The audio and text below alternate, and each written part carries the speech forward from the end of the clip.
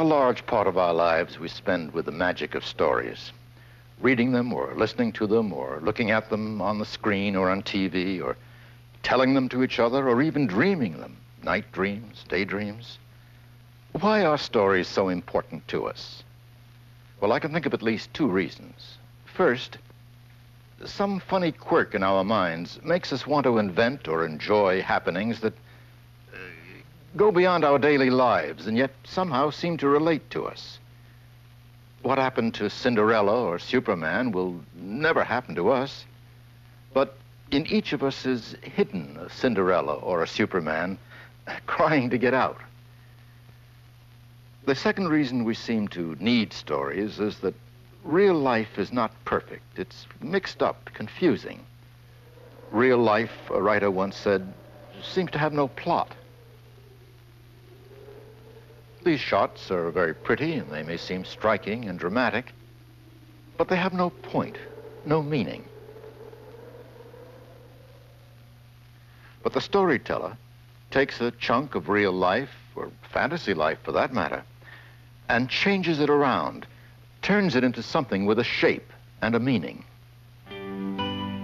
It is here on this street that our story takes place. Here where we find two mere children, greatly in love, and whose tale shall soon be unfolded. And this is Christmas, a special time of year, a time for special surprises. That's the beginning of a short story. And now I want you to listen to the shortest story ever told. In the room sat the last human being on earth. There was a knock at the door. I've always liked that one. It still scares me. It's got a form, a shape, even though your imagination may want to supply a possible ending. It surprises you, perhaps even makes you laugh nervously. But it's too short. There's not enough to it. A short story should be long enough to grab your attention for some time and short enough to be read at one sitting. And that's rather different from a novel, isn't it? Edgar Allan Poe, who really started the American short story, believed it should have a compact, unified effect.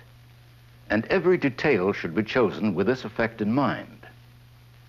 Today, many short stories don't obey this rule exactly, but even they must have a plot.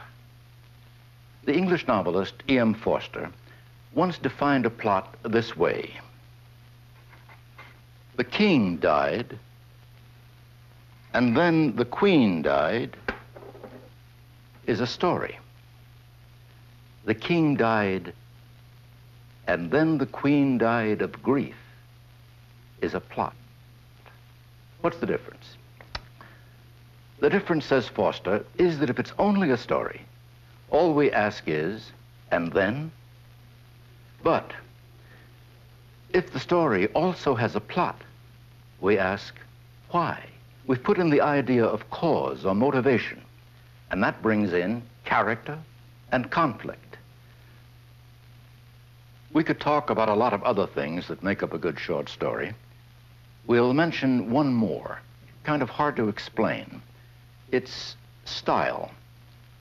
A Frenchman named Buffon once said, style is the man himself. It's something the author puts into every one of his sentences, as well as into the shape and content of his story. It's like a voice or tone. Form, content, meaning, plot, characters, conflict, style. When all these are in balance and concentrated into a brief narrative, we've got a short story. To see how short stories work, we've made screen adaptations of three examples by famous writers. Here's how we first see Della and Jim in The Gift of the Magi, the O. Henry story. Jim, what about dinner? Oh, I don't know. You decide. Nothing too fancy. Uh, looks good there, Della. Yeah, it does. Not as nice as I wish it could be. Remember last year when you brought me those roses? And that sleigh ride in the park? Yeah, And your parents waiting up for us? yeah, that was dandy when we could afford it.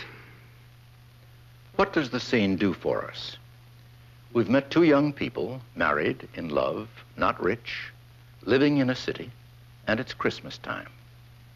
Setting and time are established. So are two more things. Jim's watch. What would you do without that thing? I don't know. Beauty, though, ain't it? Della's hair. Stop that. You know I'm just going to have to put it up again. Well, and you know how much I like it, Dell. I know.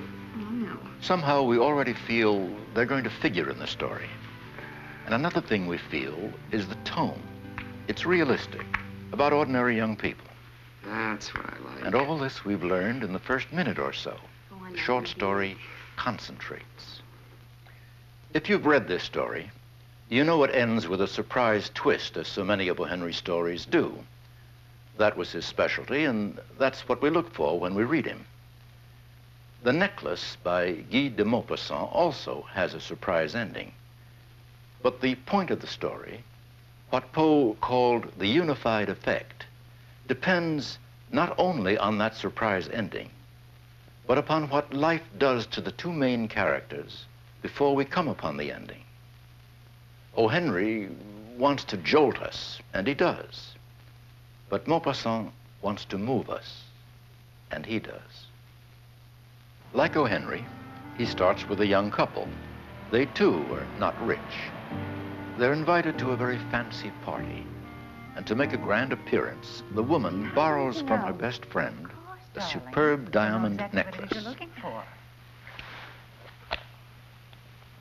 Oh, how about this? That? Yes. Well, if you really set on it. Oh, I am. From our modernized screen adaptation of The Necklace, written almost a hundred years ago, we show some scenes, beginning with their entrance. Senator, how are you? Thanks a lot for having us. Now let's meet my wife, Fanny Lou.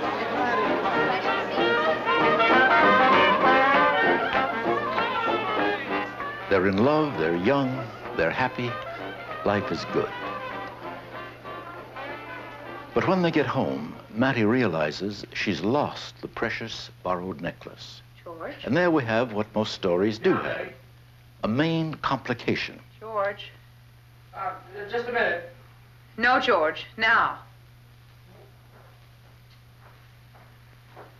What? It's gone. What? What are you talking about? The necklace. What do you mean? It's gone. It's gone.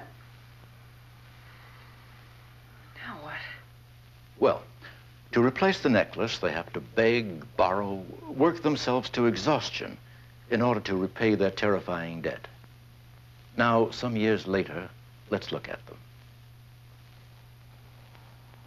I didn't think it would take this long.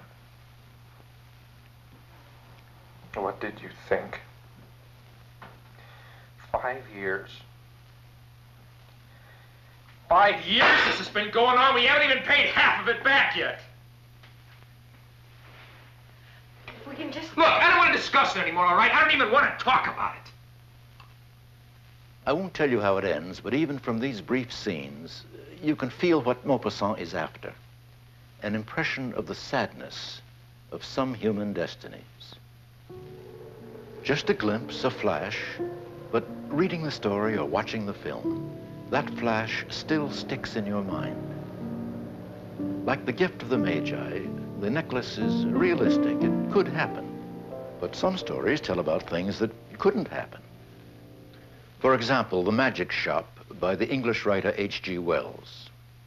I said before that a good story has a theme, a point, a central meaning.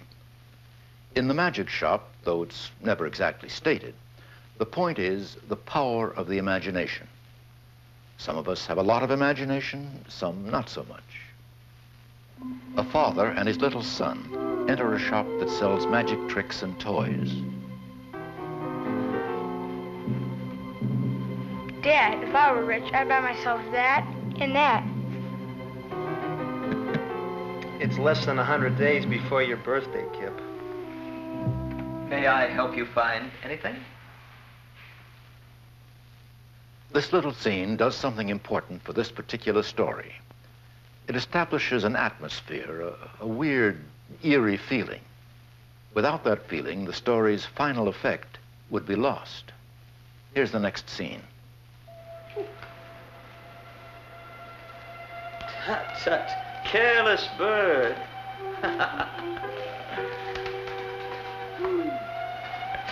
and as I live and breathe, nesting.